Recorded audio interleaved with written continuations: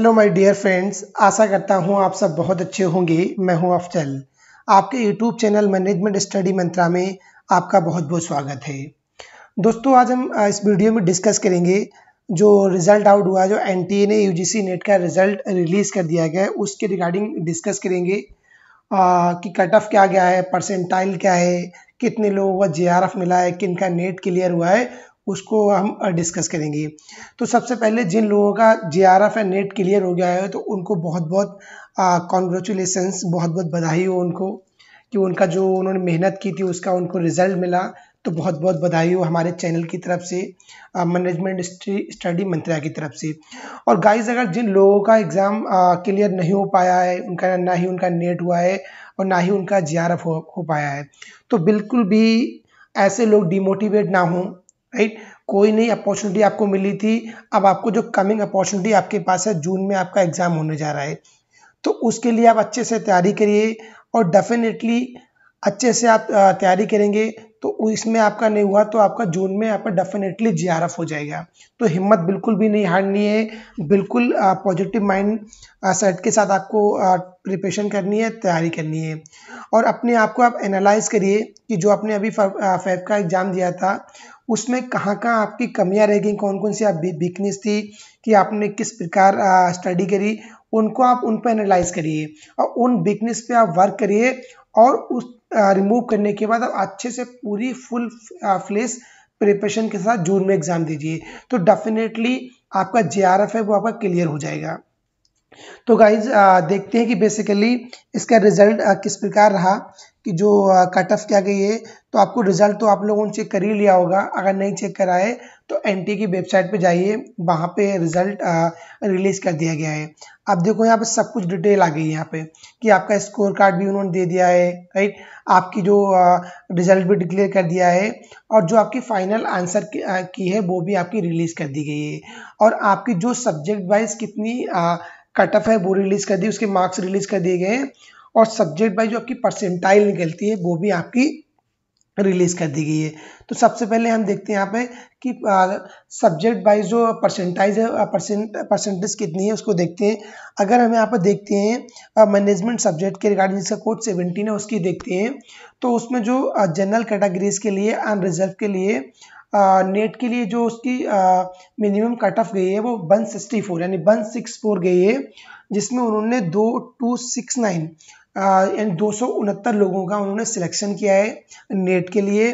और जो जे की जो कट ऑफ़ गई है, वो टू ज़ीरो टू यानी 202 जे के लिए गई और कितने लोगों ने सिलेक्शन किया है?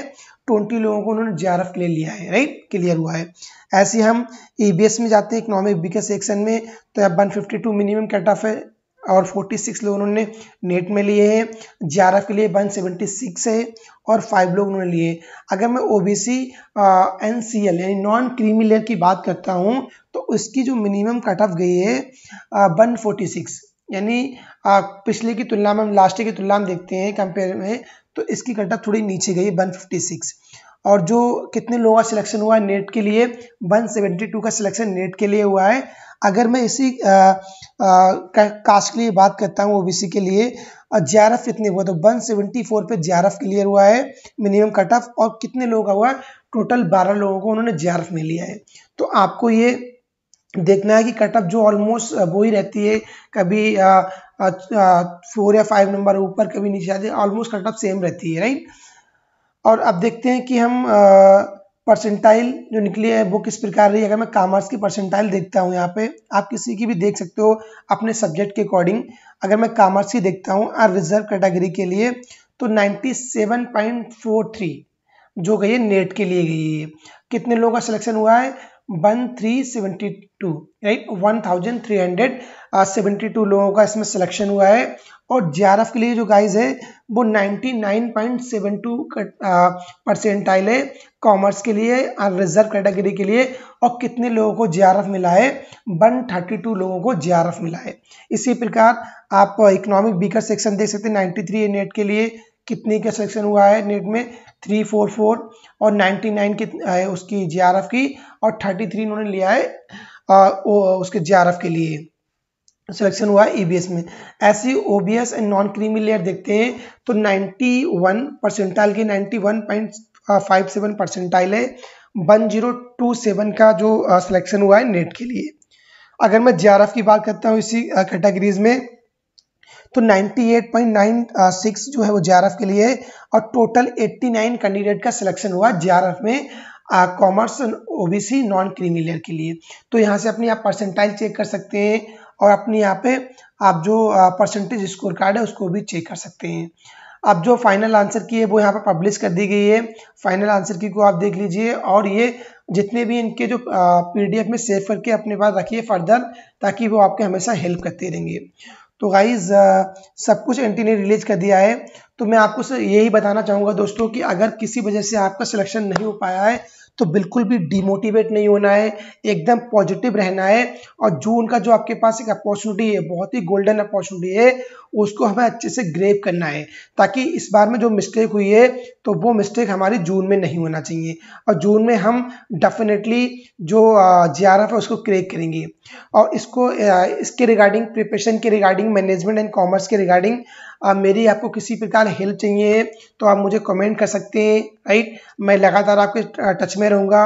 और जो हमारा चैनल है उसको आप सब्सक्राइब कर लीजिए, ताकि यहाँ पे लगातार मैनेजमेंट के रिगार्डिंग कॉमर्स के रिगार्डिंग सारा सिलेबस कवर कर रहा हूँ।